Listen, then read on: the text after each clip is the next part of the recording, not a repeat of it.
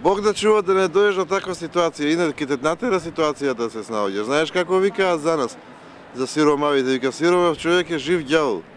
Ако дојдеш ќе се снаоѓаш. Е така, нема да купиш нешто за носе, не можеш, ќе си купуваш.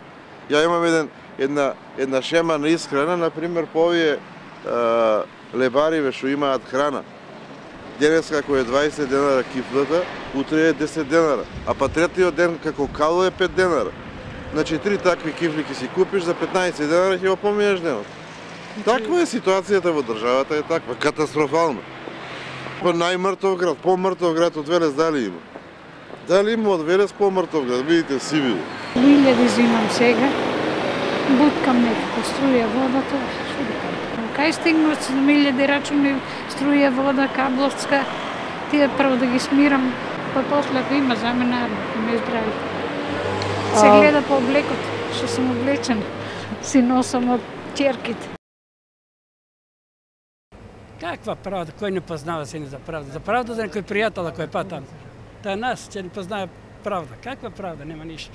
Ние не сме големи таму да му кажуваме кој как. Што ќе да тоа е, чекаме орди. Они што ќе решат, ние не решаваме. Каква работа се? Има работа, но не работат. Неќе да работат они. Тоа за млади.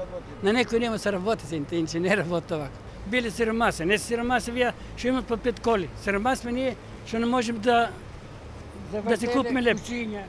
Па во Кавадарци моментално убаво се живее. Секако дека има влијание странската инвестиција, моментално состојбата во Кава не е идеално, нели никој. Јас сум инвалидски пенсионер. Ама сама знаеш 9000 дарки не е некоја да платиш струја, да платиш вода и така. Ако била покажена малку поубав живот, не е ово помотар некој живот со 9000 дарки. Јас сум еден член од семејството мое сам вработена, мајка. Два сина имам и маж ми, никој не се вработени. Со таа плата живееме колку што е толку. Гуркаме некако помалце, понаше. Плата е минимална, 12.500, не и крием, тие се.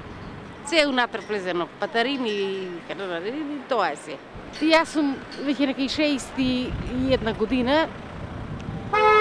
Деца е битно да ми се вработени, јас не е битно да одам више се влечам, ама тоа е тоа.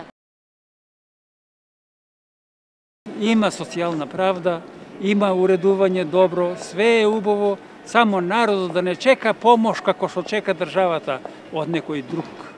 Да не улевам у политика. Мислам дека оди на подобро, ама малку е бавно, па ќе видим.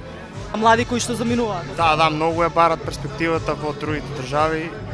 Тоа не е добро за градот, ама таква ни е државата.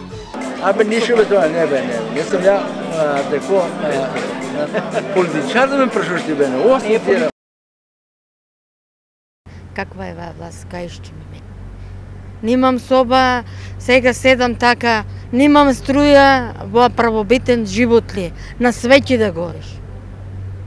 Да ти кажам, не ми се живее, немам воља за ништо. Не сум ни вработена, ми треба уште 7 години за пензија да земам. Јас сум 54 години, жена. А како ќе онадеме до пензија? Кажете ми. Еве, нека ме вработат, ја ќе се изработам. Е така. Сиромаштија е до безвез. Ме ја не сум кучка. Кучка не сум? Да живееш тука вака надбор и да одиш у други соби нема струја, нема вода. Зна, да не ти кажувам више. До тука ме е дојдено. Не се живее. Сакав да идам, новинари да викам, арно и ви се надите и ништо да не криете, себе да излезе на телевизијата. 4300 денара зимаме. Мислам со пемпаси е не може да оде, не може до веце да оде, со пемпаси се знае парализирана. Стигаат тие пари барем за неа? Па, доволно сам, мислам 4300 денара са пари у Македонија, не? Добро е, не е лошо. Снаоѓате некако на да спечалите Па не, во Германија? А, не, у Германија бев поради жена ми за лекување да лечиме, ама и таму не бива и си дојдов. Иначе, тоа е животот. Тука кај нас се знае што е животот. 50 евра за туалет хартија не стига, а не да јадеш. А има од мене побетер луѓе што шишиња збират, па и тоа му го окинуваат социјалното. Значи, ако збира шишиња, мора да му го окине тоа што зима 3000 денара. Пошто со 3000 денара може да се живее. Не викам да не, 3000 денара е многу пари. Е тоа е. И должни сме за струјата, нели ветија пред гласање гласавме се едно друго за оние социјалци кои се загрозени да се окинува струјата. Зошто мојата струја не се окина? 2000 евра сам борчо предходни 5-6 години и сега сум утемни на причината ми е струјата. Со таква жена, со таква состојба. И нема да беган луѓето од Македонија, ќе бега. Ќе бега Болје живот, си бара секој еден.